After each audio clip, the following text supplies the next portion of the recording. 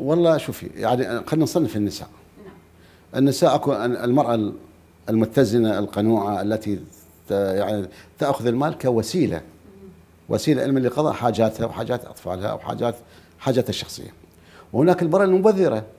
يعني إحنا يعني أكو نساء مبذرات يعني يشترون حاجات يروحون على السوق أشياء ما يحتاجونها استهلاكيات عقلية استهلاكية. هذا الضر الضر بها والضرب بميزانيه الأسرة.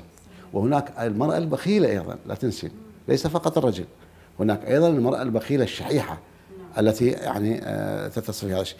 بس المال لا يمكن أن يكون هو العنصر الأساسي في السعادة. المال وسيلة. ولكن وجوده ضرورة يعني اليوم أنت لا تستطيعين اليوم أن تستمر في حياتك المعيشيه والسكن وغيرها إلا بوجود المال. اذا المال هنا لخدمتي وليس الآن لخدمته. البخيل يجعل يجعل هو لخدمة المال.